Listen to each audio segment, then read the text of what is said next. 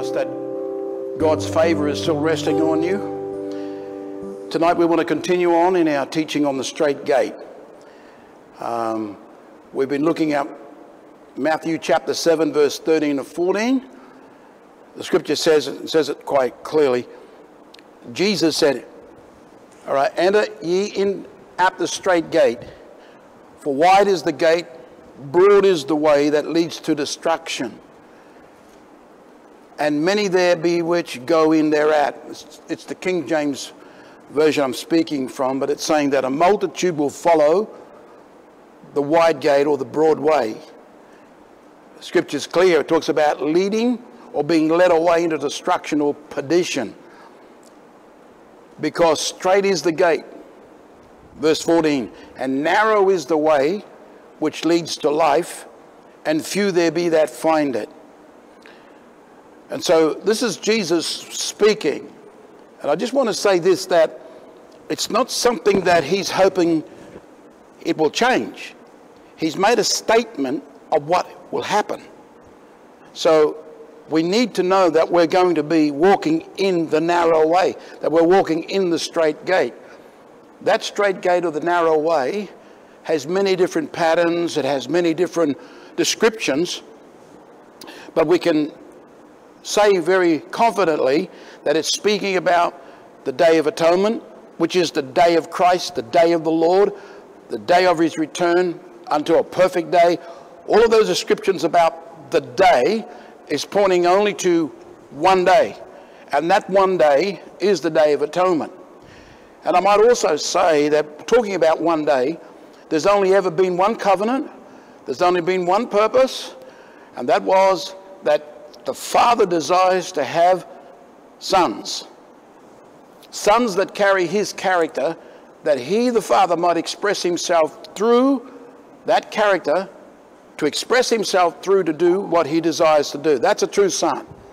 A son has a character that without thinking twice, he moves in obedience to what the Father's desire is. Whatever the Father's will is, the Son will do it. Right? And so, in order that we come into this, this straight gate, we need to know that there is, a, there is such a thing. Not only is there such a straight gate and a narrow way, what's more important is that we understand the timing of it. And the time is here. The time is here now. Because in times past, we've seen the other two major feasts and the Feast of Tabernacles, which is the third major feast. But the first two feasts are the feast of Passover, and generally we can say that the feast of Passover is talking about being born again.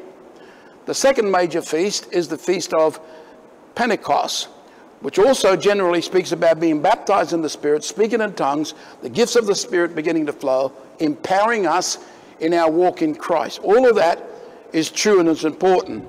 And for many of you that are watching uh, this uh, telecast or you're watching this, uh, this setup, you would have experienced probably those two major feasts already. You're born again, you've been baptized in water, you're filled with the Holy Spirit, you speak in tongues, you're baptized in the Spirit. So your experience has been Passover and Pentecost. But God's purpose has not yet happened. It's on its way. There's a progressive revelation that's leading us into this last and final feast, which is the Feast of Tabernacles. And if you speak in baptism, it's the baptism of fire. But let me say this that Jesus made it very clear. He said, Unless you're born of water, that's Passover, and of the Spirit, that's Pentecost, you cannot enter or become one with the kingdom of God. So he is saying, just by that phrase, that the Feast of Tabernacles is actually the kingdom of God. So that tells me that Passover and Pentecost is the church age. Now we're stepping into the kingdom age, which is the, the age of change. Or should I say, the completion of the eternal covenant. The completion of this one purpose, and that was to have, to have sons.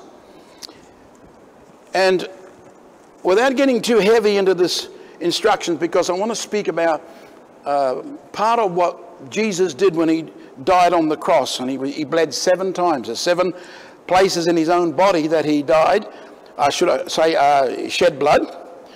But I want to read the scripture here talking about this area of the one, the one eternal covenant, the one purpose, which is to be a son, that hasn't changed. There's one testimony, there's only one word, there's only one faith. And it makes it more simple to follow the leading of the Lord now, because in Ephesians chapter 4, verse 11, 12, and 13, he says, and you know the scripture well, he says, and he gave some apostles, some prophets, and some evangelists, right? And some pastors and teachers to do this three things for the perfecting of the saints or the equipping of the saints, for the work of the ministry, right? For the edifying of the body of Christ. So, those things we know of, those things we have experienced.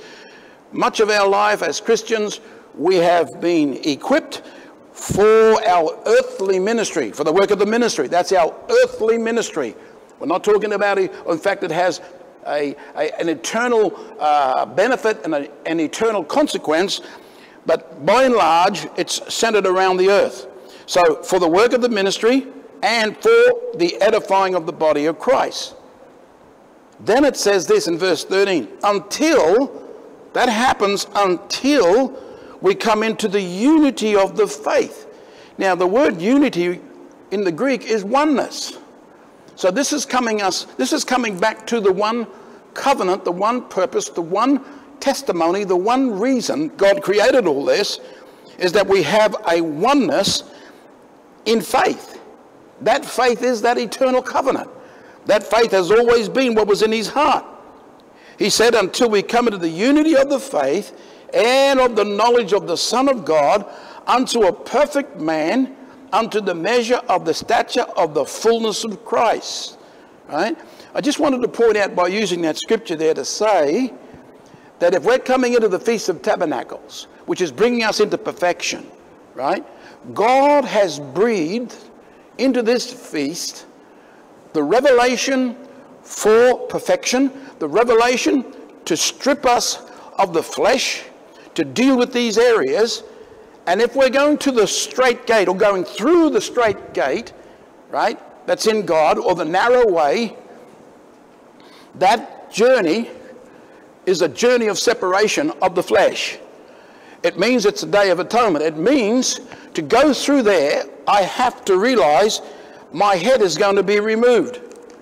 That is that is that it there's the beheading that I need to know about and be prepared for. Now, let me say that it's not a personal uh, or a physical beheading like I've been taught when I was growing up, and everyone was quite in fear of the, the end times because Armageddon and everything else was talking about coming into a place where we're going to have our physical heads removed. They made movies about it. Our heads were going to fall in this basket and so many things, and there was fear everywhere.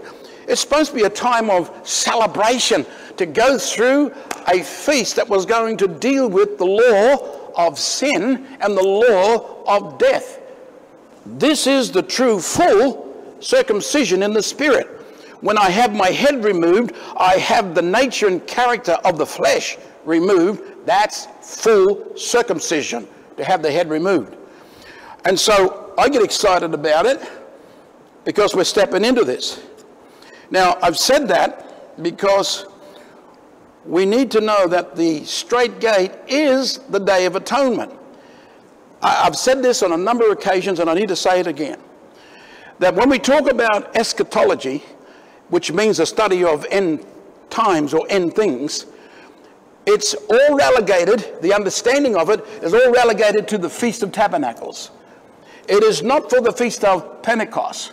Pentecost and Passover have their boundaries, if you like, and their limitations of blessings and its benefits. But God never said anything within the feast of Passover or the feast of Pentecost that has anything to do with instructing us by revelation, instructing us in the steps in which we are to walk, that we can find our way in the end times, or to find the purpose of how and when and where he's going to return. It's all relegated to the Feast of Tabernacles. And if we don't make the change and come through the Feast of Trumpets, and according to uh, Numbers chapter 10 and verse 10, prophetically it says that they blew the trumpet over the sacrifice. What does that, what does that prophetically mean? It means that the Feast of Trumpets is a prophetic word that when it's spoken, it unveils the substance of the Day of Atonement.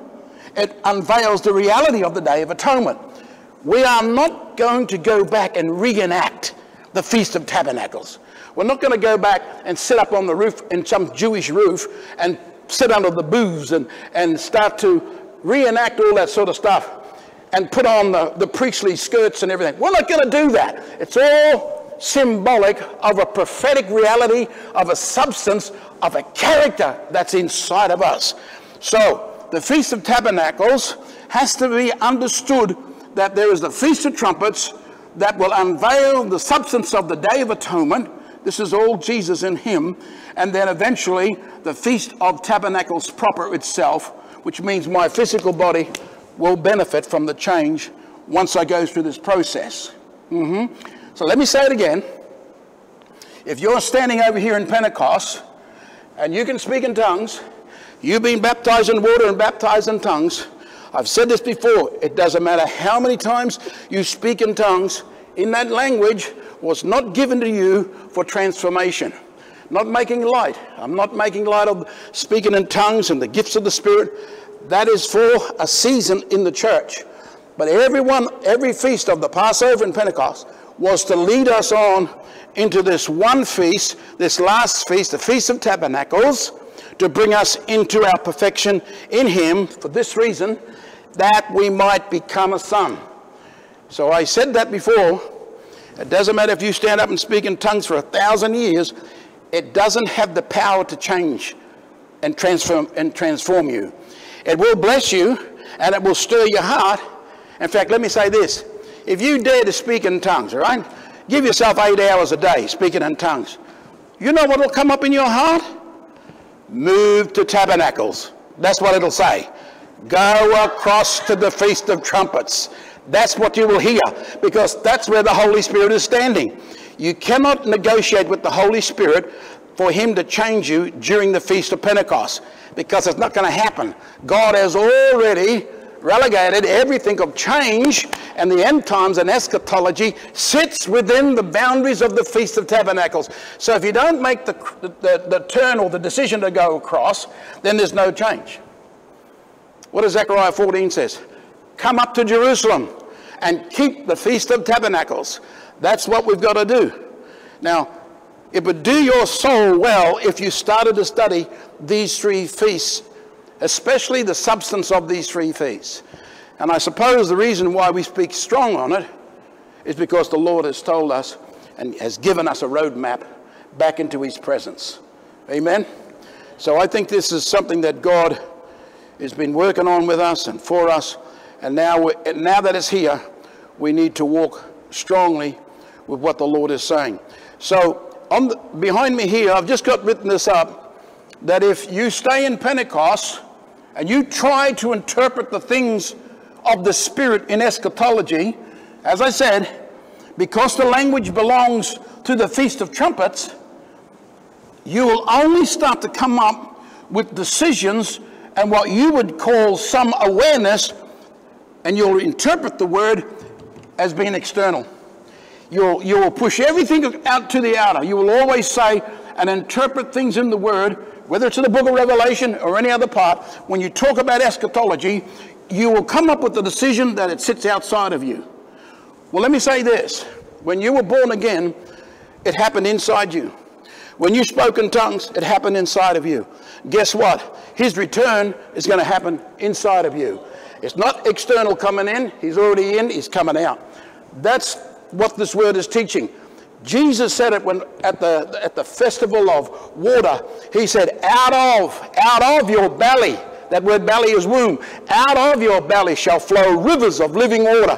Thus he spoke of the Spirit. So the Spirit of resurrection is already in you. And I've said this for years. It's not outside of us. The entire package of your deliverance and your transformation is inside of you. We need to be spending more time looking into the Word and having the Word examine our own hearts. Looking into the Word and the mirror of His Word, knowing that the laws of the Spirit of life in Christ Jesus that's in me is going to set me free from the law of sin and death that's in my soul. That's this whole purpose of what he's doing. And so when we talk about wars and rumors of wars, look inside, because that's what he's talking about. The flesh is warring against the spirit. Doesn't matter what scripture you look in the book of Revelation, it has a tie that begins with inside of you. The church is inside of you. And we'll talk about that in a minute. But I'm just laying a foundation here that to understand that if we're going to know in our hearts the revelation of his return, the revelation of eschatology end times, it's all on this side of the Feast of Tabernacles. You've got to be baptized in this Feast of Trumpets.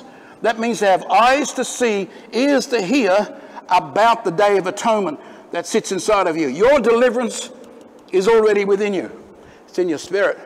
But God is going to minister that by His Spirit if you submit to what he's saying. So, let me just move on and speak a little bit about the blood of Jesus and the fact that Jesus bled seven times. This walk from the Garden of Gethsemane to the Garden Tomb is the straight gate, the narrow way. It's the Day of Atonement. And we need to know that because he walked that way, he carried me with him. It's imputed to me. Amen.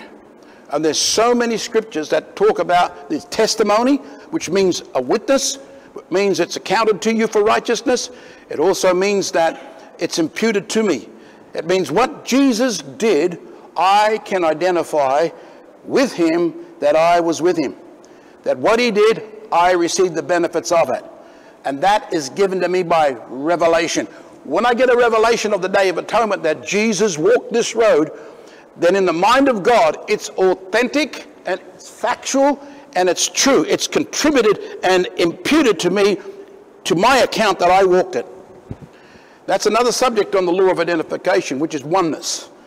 But right here, right now, I want us to understand that this straight gate, narrow way is a highway of the blood of Jesus. It's the blood of Christ. And I've gave some scriptures to you last time. If you go back on my earlier recordings, you'll see they were speaking about a highway shall be there, and it's a way of holiness. Isaiah 35, 8 to 10. Isaiah 11, 16 speaks about a highway for the remnant of his people. Psalm 16, 11, thou shalt show me the path of life. Proverbs 12, 28, the way of righteousness, the path, a path, there is no death. Hallelujah. There's death to flesh, but there is life to my spirit.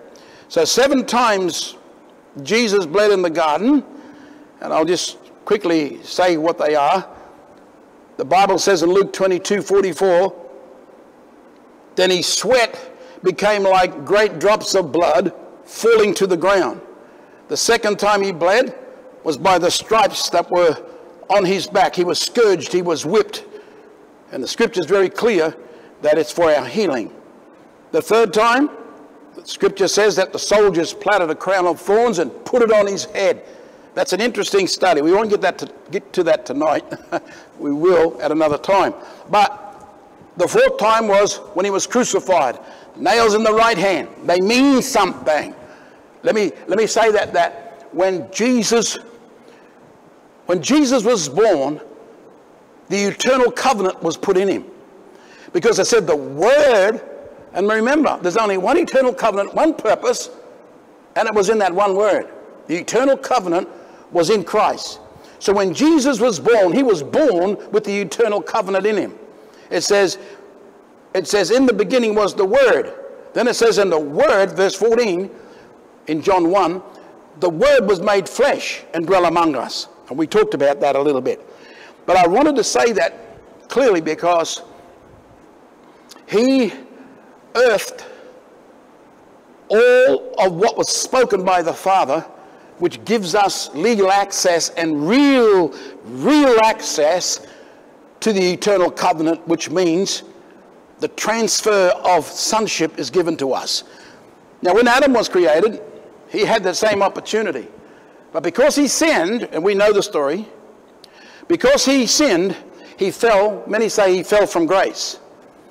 Well, he fell from grace, but through Christ, Jesus put him back into grace, put us back into grace.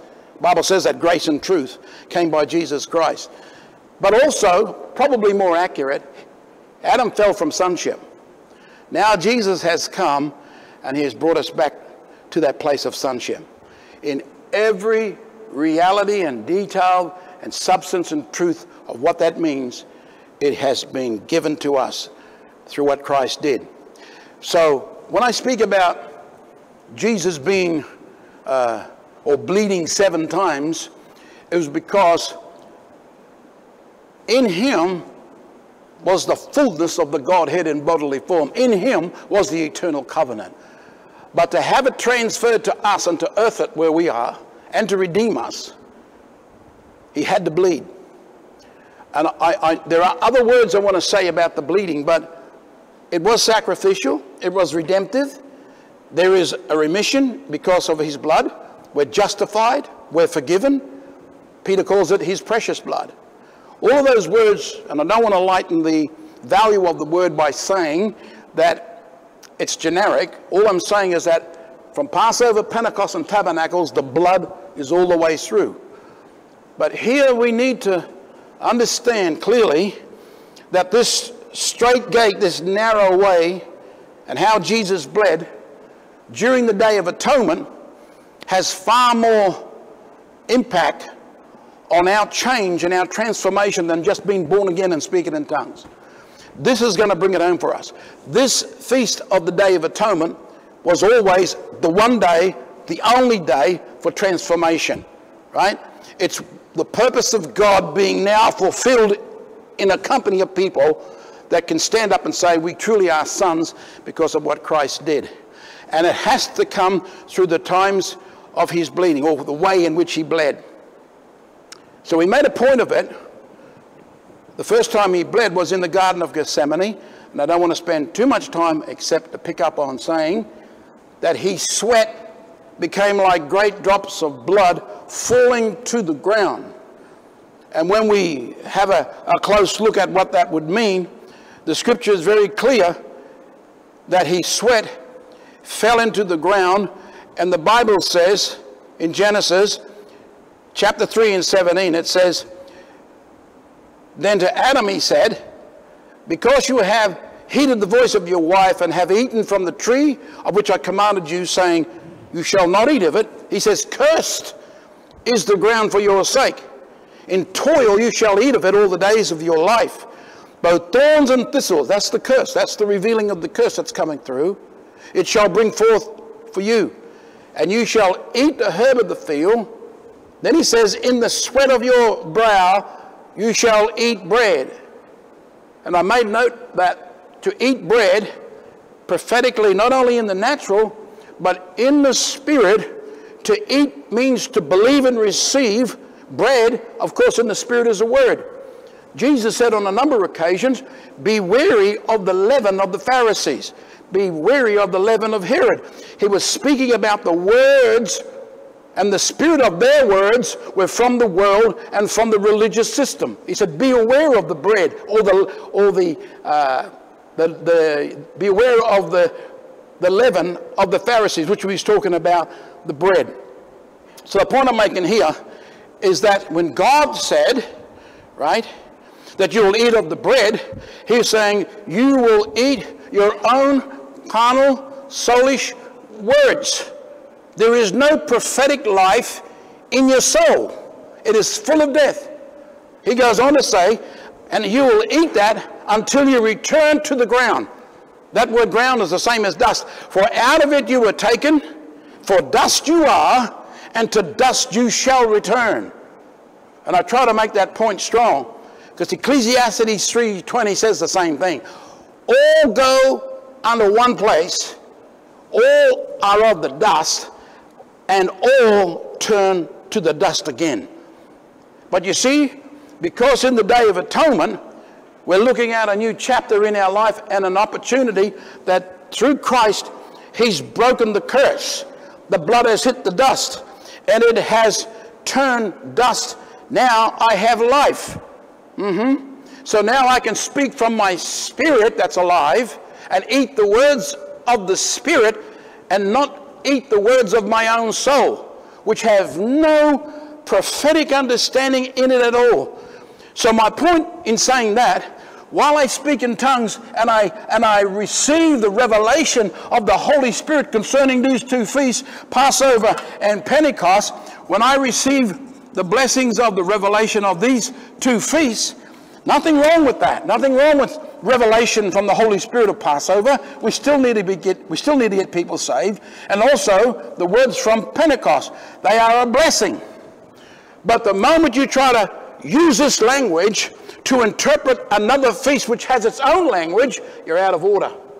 And when you're out of order, the Spirit of God will not reveal to you because you're still sitting in another feast and you haven't made the transition across by faith to hear what God is saying and how is he saying it. Now, if you're interested in eschatology and you know nothing about the Feast of Trumpets, then you need to make the move. If you don't, and you still have an interest in that, and you try to speak in tongues or read the word, and you're still sitting here, I'm saying to you on the authority of God's word, you will end up speaking out of your own soul, prophesying out of your own soul, hearing things of the soul concerning eschatology that was relegated only to this feast, and because of that, you will only hear what comes out of your own soul.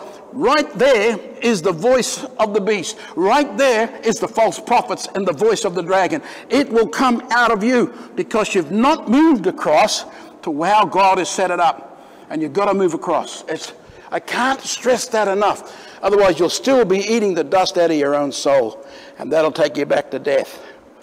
Uh huh.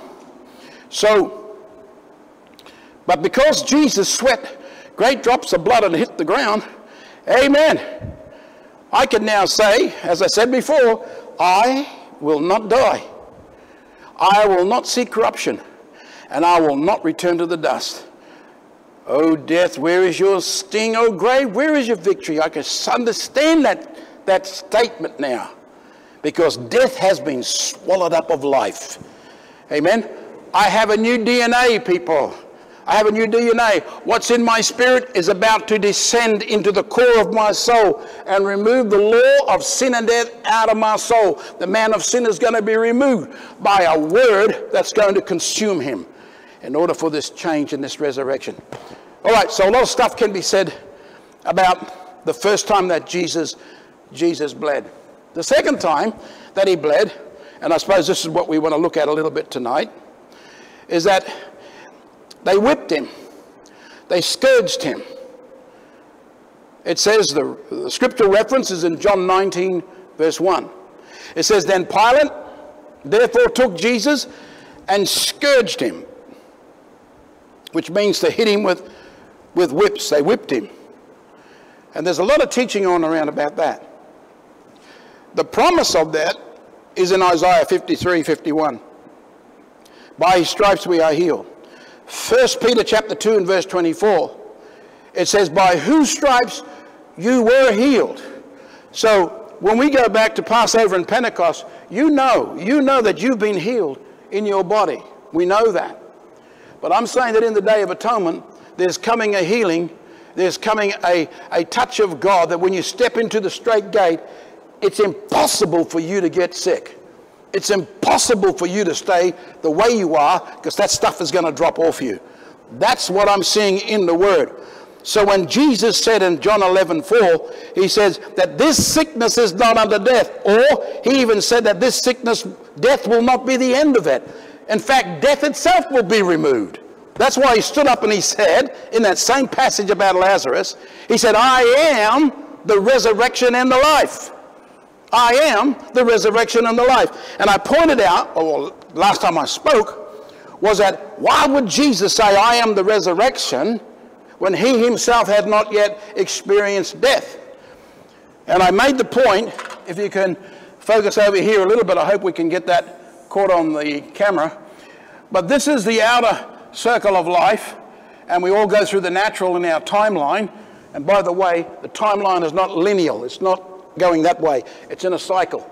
Everything in life is in a cycle, even our time frame in God, and in the natural, it's in a cycle. We've come out of the garden, and now we're on this cycle. But in the middle here, this is where Jesus was speaking from. He was speaking from the position of the I am. This is the bosom. This is in the spirit. And when you're in the spirit, you can look here and you can see Adam. And you can look here and you can see Abraham. Right? And you can look here and you can see Jesus. Right? And you can even see when he was when he died. You can even look to see where we are in 2020, right? When you go in here, you can see it. You can look at the cross in that position. You can look back at the cross and see it as it is happening. You can see it as it's happening, which means faith is still alive. In this dimension, there is no time. It's a position in the spirit that can see what was past, what is now, and what is future. That's why Jesus had to say his name. I am the same yesterday, today, and forever. He was trying to say, I am in the core of time. I am time. I am who I am. And because of that, he was saying that I am the resurrection and the life. Although he wasn't resurrected yet when he said it, he was speaking from a position that was already receiving the benefits of his resurrection. Why? Because he was a witness to his own resurrection. He was a witness to him coming up out of the grave himself. So he could say, I am the resurrection and the life. Because he prophesied over that. He said, In three days, I'm going to get back up. Oh, hallelujah. So he could say, I am the resurrection and the life. That's what he said to Martha, right? So the key to that phrase is I am. He moved into the spirit world, especially on this occasion, and he started to speak. Ah, many others have moved into that position as well, and they spoke from that area. Okay, here's something for us. here's something for us. I, I tried to get this out on the last time I spoke, and it, I think it, it didn't go across as I was trying to explain. But in Philippians, this Philippians says this. Philippians chapter 3 and verse 10.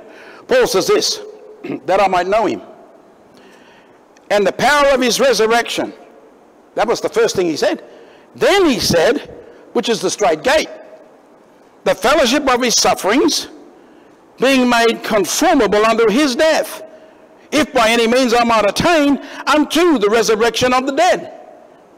So what he's saying here, and it's important to keep it like it is, that order of reference is written like that for a reason. Now, the fellowship of his sufferings. He suffered in the garden. He suffered when they whipped him on the back, put the crown of thorns. He was on the cross. They were his sufferings. And sufferings meaning he was still alive.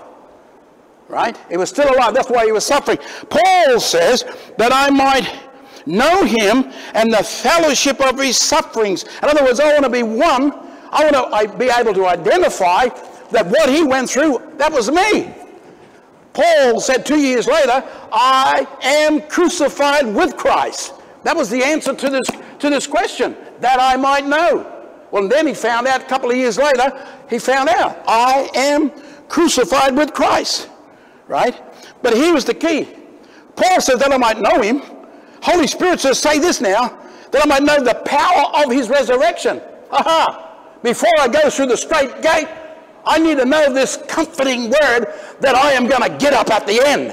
Hallelujah. I need to know that at the end of the straight gate, I personally have a witness that I'm coming up out of my own grave. Amen. That's what I need to know. Jesus said that. He's the pattern son. He said, I am the resurrection and I am the life. Not only get up, but I'm going to continue to live with this resurrected life. So you and I need to know and have it squared away as a testimony, as something that's within us, that's been accounted to us, that when we go through the straight gate, we can endure the suffering with joy, and the joy is to know by revelation that I'm coming up at the end. Amen. That's the, that's the order of reference, that I might know the power of his resurrection. It's a great thing to know. I will run through the straight gate. I will press through the narrow way because I have the confidence of the Holy Spirit. I'm coming up at the end. Amen. That's, that's what encourages me. And I'm going to go through the straight gate with joy. Just point me in the right direction through the word and I'm on. And I'm going through. Can you say amen? Woohoo. So, that scripture reading for Matthew uh, for the third day being raised again was Matthew 17, verse 22 and 23. Jesus said, The Son of Man shall be betrayed into the hands of men, and they shall kill him, and the third day he shall be raised again. Amen. So he prophesied over his own resurrection. That's what we've got to do. We've got to walk in the understanding that I'm coming up at the end. Okay. So Lazarus, right? Lazarus, and Jesus is talking about this area of Lazarus being sick, but his sickness was not unto death. His sickness was, death was not going to be the end of it. Jesus was pointing out that nothing is over until he says it's over. death doesn't have, a, doesn't have the last say. In fact, de death doesn't have any say. Death will do what it's told by the Spirit of God. But Christ has the first and the last say. Any sickness, right? Listen to me now. Come into this day of atonement, not Passover and Pentecost, and we say, Oh Lord, heal me. Oh God, heal me. No. God is moving you in a position of authority over your body and over the things that are in this earth, right? And we need to know that any sickness that sentences you, sentences you to death has now lost its fear of death. It's now lost the fear and the spirit of death. Death has lost its authority of its certainty. In other words, death is not certainty. I've said this before, but death can't talk to you anymore. Death has no more fear over you anymore. You're not tormented by the word cancer. You're not tormented by coronavirus. You're not tormented by that. What you are in favor of is that this thing can't touch me. Amen? So that's important to, to understand that. So walking through the straight gate, the narrow way, once the believer begins that walk, and I put it like this, gets into the slipstream of the narrow way, sickness will not and cannot touch your body. It cannot touch your mind. It can't play around with your thoughts. Suicide is silenced in you. Nothing can talk to you. It is forever muted because of the journey that you're walking. All you hear is the voice of the blood. You hear the voice of the spirit. It's coming from your inner man, your spirit man. Why? How is this happening, Pastor Brian? Because you dare to go and start the journey of the day of atonement. You're starting to walk by faith in this feast. Amen. Can I say this, people of God? Whoever you are, ministries that are listening, wherever you are, people of God, saints of God, know this is the grace of God. You've got to move on from Passover to Pentecost. You've got to move on into the Feast of Tabernacles to finish your race, to run your course, to become a son of God, to become a son of a living God. It's not just going to happen by chance, right? There's no song, and I checked the song, Que. There's no song here that says that. It's got to be specific. You've got to know in your heart that you're on this journey, and you're on this journey with God. Every sickness that is not unto death to the believer that walks, it's not unto death to the believer that walks in this straight and narrow way. Trust the word. We're in a feast that diabetes will drop off. Heart problems, it'll cease.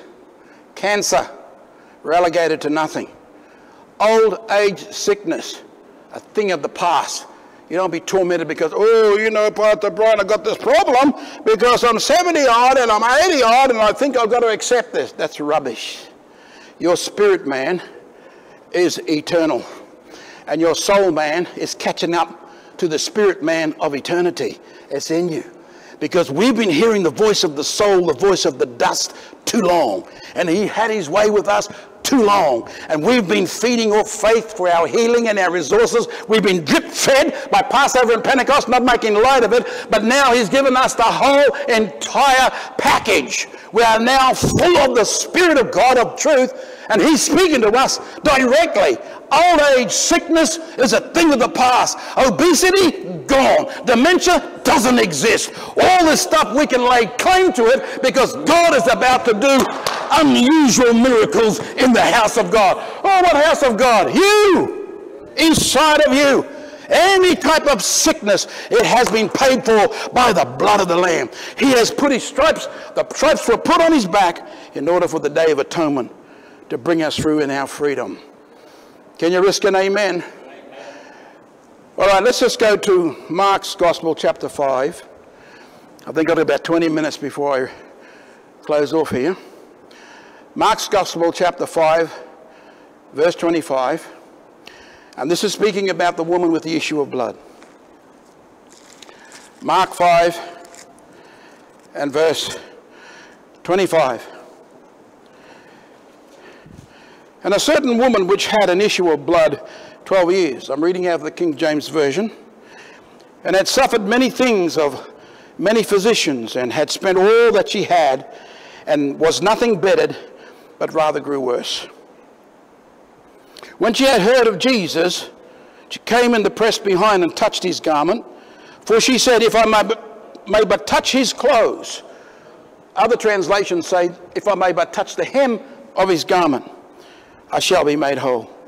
And straightway the fountain of her blood was dried up, and she felt in her body that she was healed of that plague. And Jesus, immediately knowing in himself that virtue had gone out of him, turned him about in the, in the press and said, Who touched me? Or who touched my clothes? And his disciples said to him, Thou seest the multitudes thronging in. Sayest thou, Who touched me? And he looked round about to see her that had done this thing. But the woman, fearing and trembling, knowing what was done in her, came and fell down before him and told him all the truth. And he said to her, Daughter, thy faith has made you whole. Go in peace and be thou whole of thy plague. Now, let me just say this. It starts off by saying, a certain woman. Let's just stop there for a minute. A certain, let's look at that word. A certain woman. When you see this word certain, and it speaks of this word certain in a number of passages in the Bible. You know, a certain man planted a vineyard, a certain man had two sons, a certain man was a ruler that came to Jesus. So when it says a certain man, he's giving, the Spirit of God is giving us room and flexibility for interpretation. All right? But because we're so specific now, that everything I read, if I choose to read it with the, uh, with the understanding that I'm standing in the Day of Atonement, that passage is going to talk to me about the Day of Atonement. So this woman, I've just put her in the Day of Atonement now. So whatever she, whatever happens to her is coming because of the Day of Atonement, right? Now I used to preach this over here in Pentecost, and there's some good words that come out of Pentecost. But when you see it from the angle of the Day of Atonement, brother, it goes to another level. It takes you into the spirit of the church of Jesus Christ. So this certain woman gives me the ability to speak on part of the church because the woman speaks of the church. Let me be a bit more clear. The woman speaks of the church, but it speaks of the womb. Right? The womb, the womb man, the womb of a man. Who, what man? The man Christ Jesus. This is his womb. The womb is the womb of the man Christ Jesus. So this area that this woman has found herself in the natural, push it up into the spirit, especially in the day of atonement, and you start to get another picture, another dimension of revelation of what is going on in the church in these last hours. So a certain woman, right, this womb, she was bleeding. So mainly she was bleeding from the womb. The church today is bleeding. We're coming into the greatest day where God's going to bring healing in the church because by his stripes I am healed. And we're talking about healing to the church. But there is hemorrhaging, there is bleeding, there is uncontrolled bleeding and loss of blood. It says that a certain woman which had an issue of blood, uh-huh, that she's bleeding. The church, as I've said, is bleeding. And I looked at this, and the Spirit of God has been talking to me a little bit about this. But you see, I know this is sensitive what I'm going to say, but it's, it's reality. In the natural, when a woman bleeds, and she bleeds from that part of her womb, it's for a purpose. If everything was all right in her body, and she has her monthlies and she bleeds at that time, there's a reason for that physically, and that is to clean the womb. For, obviously for marriage, for the impregnation of the seed from the man or the, or the husband. So the womb is clean, preparing itself for the, the seed. In the spirit, you can't have this type of bleeding because then there's no room for the impregnation of the word of the man child, which was the purpose of the Father. Uh huh. So the Spirit Word cannot impregnate a church that is aborting the Word because it doesn't understand how to get healed and get in position where Matthew 25 says that there was a virgin, the five virgins that were wise went in. But let me just read this as it comes. Now, in Revelations 18, it's talking about trying to get a handle on the church in Passover and Pentecost concerning what's happening over in the Day of Atonement. You've got to get over here and get the eyes to see, ears to hear, to bring healing and restoration, and to align the church with truth, prophetic truth of what's going inside her womb. How her womb is functioning. Because it has to function according to God's plan and pattern for the marriage and for the impregnation for the conception, growth, and birth of the man child. Are we hearing this? So Revelations chapter 18 says this. Listen to these words. I, I just want to bring our attention to it because a church that's being taught without the understanding, without the correct prophetic understanding, will never bring the church to her healing. She will bleed. She will continually bleed. And I read here in 23, it says, The light of the candle shall shine no more at all in thee. Right? He's talking about the church of Babylon, which is the woman. He says, And the voice of the bridegroom and of the bride shall be heard no more at all in thee. So the cry is finished. They can't hear it. It's not coming again. You see, right now, church, right now, God has put inside of you, right now, at this moment, the ability to hear the voice within inside you.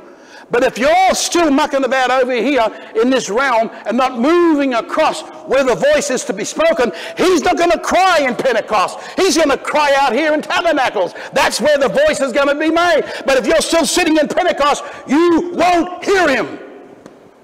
That's what he's saying here. That the voice of the bridegroom and of the bride shall not be heard no more at all in you.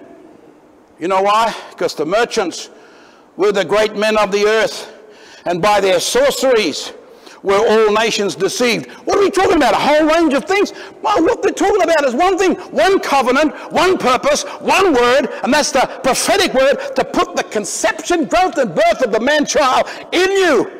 So this whole war is all about getting the womb clean to be married to the bridegroom so that she can be impregnated with this word to bring the man child. That's what it's all about, people. But you've got to align yourself with understanding. And if the church doesn't quickly move across in its understanding in the Feast of Trumpets to get the understanding of the Day of Atonement, she will bleed and hemorrhage because she's receiving stuff that was never given to her by God. Now it says this, verse 24, and in her was found the blood of prophets, the blood of saints, and the blood of all that were slain upon the earth. The key word there is slain. The key word is slain. The prophets, the saints, and all were slain upon the earth. It says that in her was found the blood of the prophets. The blood of the prophets. What does prophets do? What do prophets do? They, they speak the prophetic word. And the main role for the prophets in this last move is to clean the church. Oh, what do you mean clean the church, Pastor? Clean the womb with the prophetic word. The Day of Atonement is here to clean the womb by the prophetic word. God is releasing prophets into the church, into the womb to speak a word for her cleansing. That's the prophetic word. Revelations chapter 2 and 3 talks about the churches that's got to be cleaned up by the prophetic word, right? But here we find this woman is bleeding in the natural, but it has a significant truth and reality in the spirit concerning the state of the church. So it says the blood of the prophets. Let me go back. The prophets speak a prophetic word. And the prophetic word comes down to this prophetic word to speak a word that will be conceived, that will grow and bring forth the man child. It'll clean to impregnate. But here, in her was found the blood of the prophets. What happened? There is a ministry in the earth that doesn't understand what it's doing, that's being controlled by a religious spirit. Things that are happening within the church are aborting the prophetic word that was meant to clean and impregnate is now being aborted. The blood of the prophets, the blood of the saints, and the blood of all were slain. It means the prophetic word that was meant to clean you and to impregnate you with this word has now been aborted. The church is bleeding. And she's been bleeding too long. But I want to tell you, according to the word, God's going to deal with it. And the the ones that are the main uh, offenders is the merchants, the great men of the earth. Who are these great men, Pastor Brian? The word, the word refers to them, the kings of the earth. Who are the kings of the earth?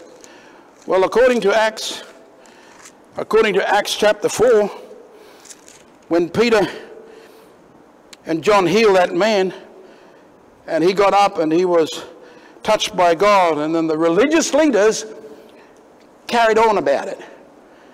And it says that in chapter 4 that they said, saying, What shall we do to these men?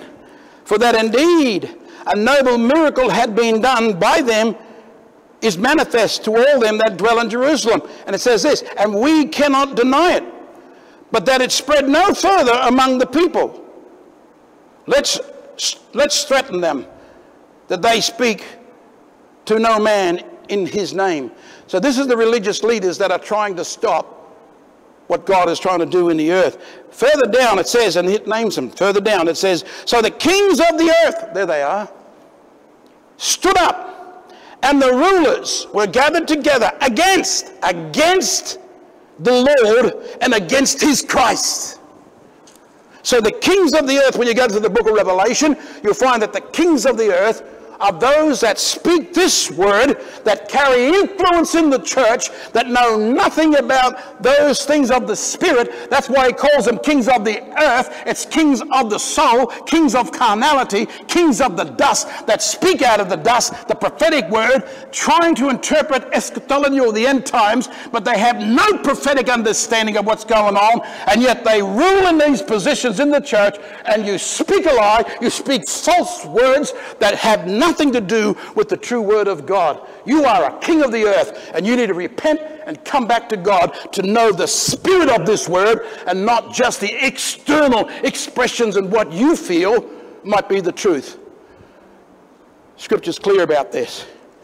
Revelation 17 says, With whom the kings of the earth have committed fornication, and the inhabitants of the earth, that's demons, the inhabitants of the earth are demons. And the inhabitants of the earth have been made drunk with the wine of her fornication. See, it's all around the sexual area. It's because it's all around the impregnation of the bride. Huh? But she's got to be cleaned. So he carried me away in the spirit into the wilderness. And I got it in my spirit that she's out there in the wilderness. Uh huh. Now, just get a balance on this. I am not saying Passover teaching is not from God. No, it has its rightful place. Pentecost is from God. It has its rightful place. I'm not saying anything about it. What I am saying, if you stay in Pentecost to try and interpret the prophetic word that was meant to come out of the Feast of Trumpets and the understanding, then it will lead you into the Day of Atonement. If you don't make the decision to come across, you're going to get caught in the loop, and it's a loop in the dust, and you'll never know what it is to speak on His behalf. So, if you continue speaking about end times and not know that you're speaking out of your own flesh, it's possible that you could become a king of the earth. A king of the earth is when the beast speaks out of his own nature. Now, Revelation chapter 13, it says that the beast was given a mouth to speak. You know what that means? The beast was given what? A mouth. A mouth that he would speak. The character is in us, but now God has, at this last move of God, has given the beastly character a mouth to speak. What does that mean, to give the beast a mouth to speak? This is what it means that it has now the ability to impregnate the church with who it is. When it speaks, it speaks a word to impregnate. Its purpose is to impregnate. God, for some reason, had put it on, on hold. We call it the latent power of the soul. Latent means hidden. Power of the soul is still sitting in there. But at the end of the age, God is going to take the lid off so this beast can rise up with the mouth. So out of its character, it will speak for this one sole purpose to impregnate the woman, the church, like he did back in the garden. But it's not going to happen, people. It's not going to happen because the word already teaches how it's going to go down to those that are in the spirit. It's not going to happen. So I want to make it very clear that as we come into these areas that God is bringing us into, we've got to know that God is He's still on the throne. Amen? And so when we read these scriptures here, He's speaking about in the book of Revelations, chapter 18, that it says that, and chapter 17, it says this So He carried him away in the spirit, where? In the spirit, right? Carried him away in the spirit into the wilderness. You know what the word wilderness means in the spirit? According to the interpretation of this word, barrenness. Wilderness is not only a place without God, but it's a, it's a womb that is barren, that cannot produce and cannot be impregnated with this word. God has to clean the womb that she might become a virgin and become fertile again for one reason for the prophetic word of his own son. This character of the man child can be put back in the church, in the womb. He said, I saw a woman sat upon a scarlet colored beast full of names of blasphemy having seven heads and ten I don't really want to go into that, but I'm just saying, making it clear. Blood speaks of the seed word of the prophets, the seed word of the saints, the seed word of all that was slain. The seed word was aborted by this ministry. Now I know, I know that there's going to come ministries that will have to repent when they realize that what they've been teaching all these years, and I don't care how thick your notes are and how much backing and resources you put into it, listen, there's time to still repent and get back into the truth of His Word. It's that simple. Get rid of it, burn it, chuck it out, repent, get the blood of Jesus on you. But the point is, get over here into this feast and begin to speak with authority of what God is telling you to do. Otherwise, you're trapped in your own soul. The soul has already had what it wants to say. Hey, don't be one that would abort the word. The church that moves across into the Feast of Tabernacles gets an understanding with prophetic eyes through the trumpets, is preparing herself for her bridegroom who is about to come. Amen. If she's a virgin, she's not bleeding. She's been prepared by Christ Himself. And that's another teaching we can get into. So, We've only got a few more minutes, but let, let's, okay. Let's continue on in Mark 5. He says this a certain woman, right, which had an issue of blood 12 years. Now, there must be a reason why it says 12 years. Well, there is. 12 is the number of divine government. When you read the book of Revelations, chapter 12, verse 1, talking about this same woman, but she's in now her glorified state. She is in now the full bloom of her being a bride, right? And it says that if you look at Revelations 12, uh, let me quickly grab it for you. Verse, verse 1, it says, And there appeared a great wonder in heaven, a woman clothed with the sun, moon under her feet, and her head a crown of what? 12 stars. A crown of 12 stars. 12 is the number of divine government. Stars, according to Revelation chapter 2 and 20, Jesus said the stars represent messengers, right, of the church. They, they, uh, the stars means angels. Angels are messengers. Messengers carry a message, right? So to have this 12 stars talking about the woman in Revelations 12.1, right? It's a message. The bride is governed by the word of the mind of Christ. That's how she, she submitted to him. This is the bride. She's governed by the word of the mind of Christ, governed by the voice of the mercy seat, governed by the voice of the bridegroom. Amen? So when this certain woman came to Jesus and she was bleeding for 12 years, can I say this to you? In the spirit, this is a metaphor of the woman coming to meet her husband, her bridegroom, to be healed and made clean for the marriage. That's where she was going, in the spirit. Bleeding 12 years recorded by the Spirit of God to push it up into the realm of the Spirit. She was about to meet her husband, her bridegroom, her soon coming marriage. She had to be cleaned, and Jesus cleaned her and healed her for himself. Can you risk an amen? Ooh. I think I only got a few more minutes, but I just want to say this. Verse 26 says, and had suffered many things of many physicians, many soulish ministries. That's what she suffered trying to get healed. The church cannot get healed if that's the thing that's caused it. Flesh and fleshy and soulish and carnal prophecies that talk about the church will only cause her to bleed. How can she go back to the to the the, the go back to the perpetrator and get healed when that's where it came from. It came out of the soulish, carnal, prophetic ministries that don't have a clue about the prophetic word of the Feast of Trumpets to stop the bleeding of the womb. It's gone back. They're going back. This is where it happened. How can you get healed from something that's happened? And it not only happens, it perpetuates. It keeps bleeding. There's only one remedy. You've got to get the true prophetic word of God and know that He's there to heal you and clean you. It's only going to happen in the day of atonement, the place of healing, stepping into the day of atonement, stepping into the straight gate, the narrow way. That's where Jesus received the stripes on his back. When they ruptured his back, I want to tell you, it healed the church.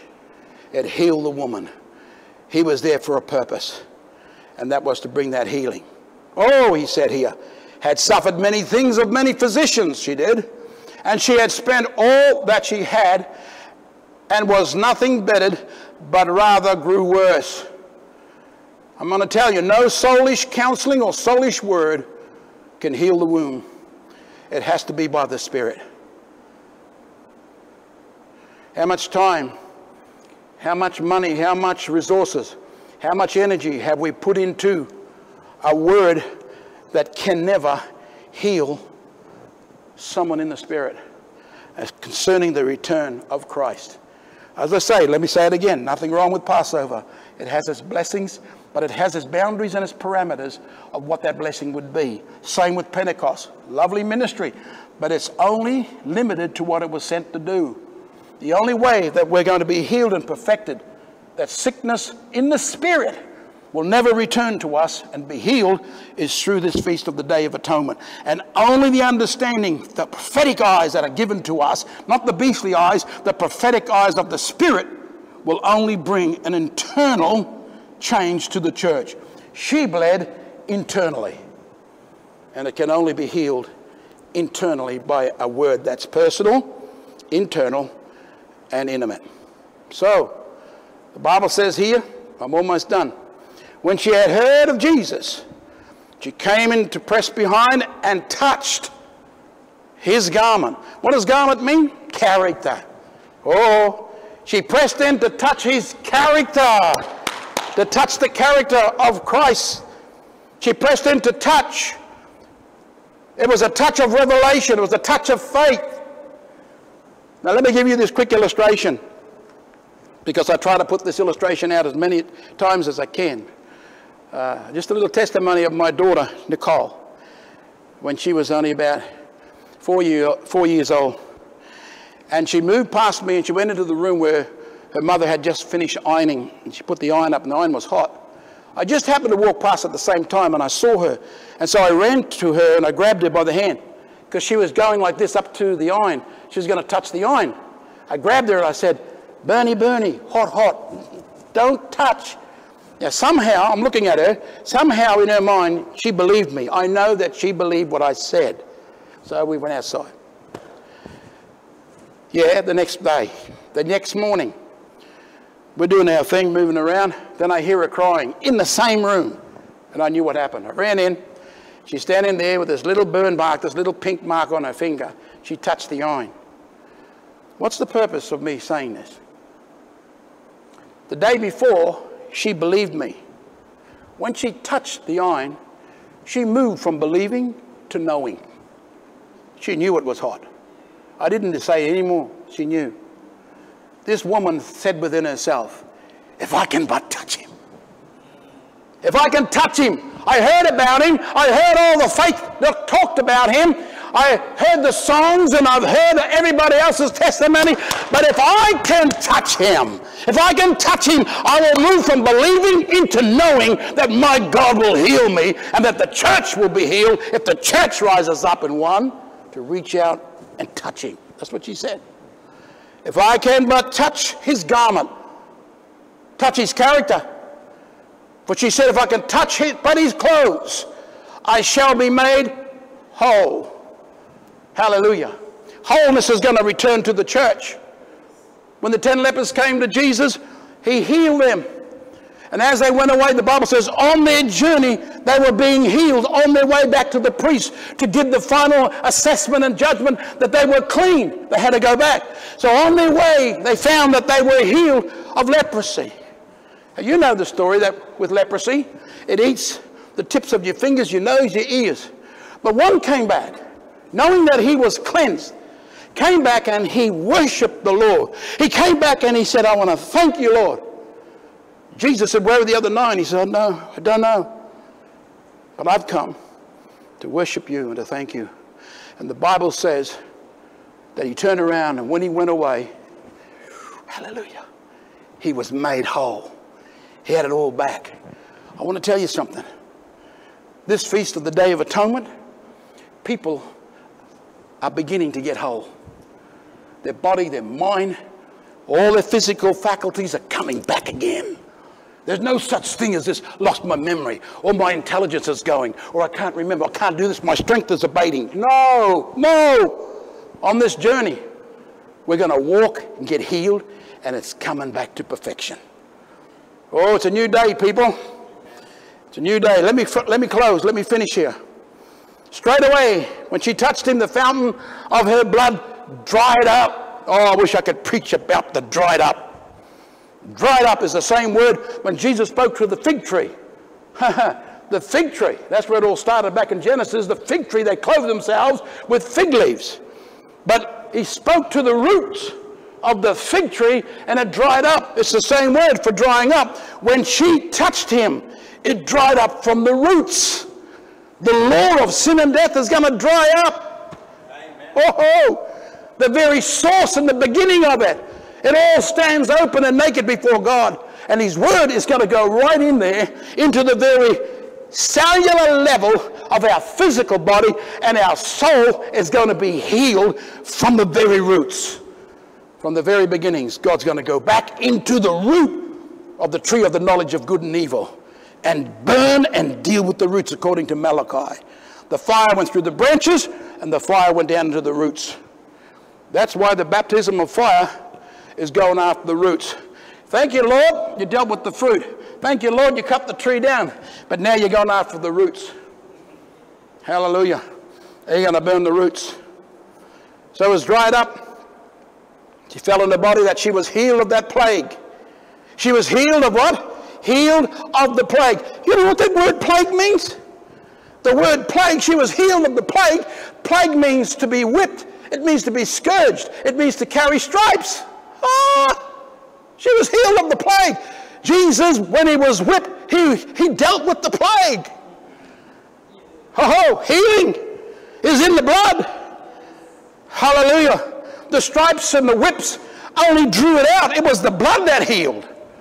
But the way it was pulled out of him by the whips gives us the understanding that the covenant of Isaiah that prophesied that by his stripes you were healed. And when he was hit in the natural, the blood released the prophetic word that you will be healed. In the day of atonement, you get healed, you stay healed. Amen? Completely, completely blessed by God. Here we go. Jesus immediately known in himself that virtue had gone out of him. That word virtue is a, is a, is a good word. The word virtue and garment are very close, closely aligned, although it talks about the dunamis power, but it's aligned with the garment, which is the character. So when the virtue had gone out of him, his character was transferred from his body to her body. It was a character transfer. Come on, in the day of atonement, there's going to be a character transfer. The character of the man of sin and death is being removed, and we're having the character of Christ. The bridegroom is going to transfer himself over into the bride and heal her and marry her. Amen. I'm a little bit fired up tonight, but oh, hallelujah. So that's what was transferred. It was transferred across to her. Remember, it says that she said in herself, If I can touch the hem of his garment, according to Numbers, that when the priests put on their garments, they were told to sew a blue tassel on the four corners of their garment. Blue speaks of the anointing, speaks of the Holy Spirit on the four corners of the earth. So if you touch the blue, if you touch the blue, then all of you and all of creation will get healed. He's a priest that walked the four corners of the earth. Amen? Even the line of tribe of Judah, the north, the south, the east, the west. When he walks, the whole earth is covered by him. North, south, east, and west. It is a sign of his dominion. Well, you know, in my Bible, when Jesus spoke, there's a lot of red. But if I could ink where the moving of the Holy Spirit, this book would be fairly blue. It's all in the Holy Ghost. So his disciples said unto him, Thou seest the multitude thronging, and sayest, Who touched me? And he quote the woman, he said, Thy faith has made you whole. Go in peace and be whole of the plague. I'm going to pull it up there because the plague is another word I wanted to expound on. But this is coming back to what we were saying about the stripes of Jesus. He bled, he sweat, changed the, the dirt, which gives me life, and now I'm stepping into this area of his blood by revelation that I will never get sick. I will never be touched of anything that's in the atmosphere. Once I get in the slipstream of this straight and narrow, nothing can touch my body or my soul. It's a done deal in God. And I want to encourage you, it's on its way. Let me finish. Jesus healed his bride from the soulish hemorrhaging of false prophetic words. When you prophesy out of the soul things concerning the end times, you are aborting the true interpretation of the prophetic word spoken out of the Feast of Trumpets. And that's according to Matthew 13, 10 to 17. Read it. Therefore, the woman, the church, is bleeding out of, is, is bleeding out the true prophetic seed word of Christ that was to be spoken into her womb for the conception, growth, and birth of the man child. And that's what's happening. So, people of God, the Lord bless you and stay strong. And I just want you to know that with this all this fear of this coronavirus that's going around, keep your eyes on the Word. Don't keep absorbing what the television is saying. They are giving you certain instructions. Just take the instructions and live sensibly. But keep your focus in the Word, and the spirit of fear will not be transferred onto you. Mm-hmm. So do that, and God will bless you. God bless you.